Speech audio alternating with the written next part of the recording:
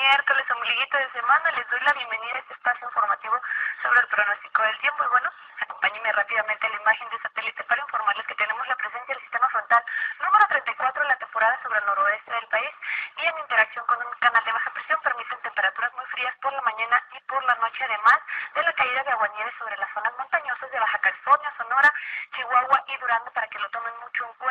En nuestra zona de occidente, así como en el centro y noreste, tenemos cielo nublado, precipitaciones aún para el día de hoy, debido a que tenemos la presencia de una alta presión que lo recubre, permitiendo así el ingreso de humedad. Podemos observar en nuestra imagen de satélite que es bastante afectando nuestra ciudad también de Guadalajara. Aquí en el estado de Jalisco tenemos cielo parcialmente nublado, precipitación por la tarde alcanzando una máxima de 27, mínima de 12, Aguascalientes, León y Morelia, misma condición de cielo y lluvia por la tarde y noche con temperaturas máximas de 20 y 22 grados centígrados. Aquí en el estado también continuará el cielo nublado, lluvia especialmente durante el día, temperaturas máximas de 23 y 24 grados para la zona norte, los altos y zona sur, temperaturas frías por la mañana de 8 y 9 grados centígrados. Manzanillo, Colima, misma condición de cielo alcanzando una máxima de 28 y aquí en la ciudad de Guadalajara también se espera que continúe el cielo nublado, lluvia por la tarde alcanzando una máxima de 24 solamente en algunas partes de Guadalajara para que lo tomes en cuenta.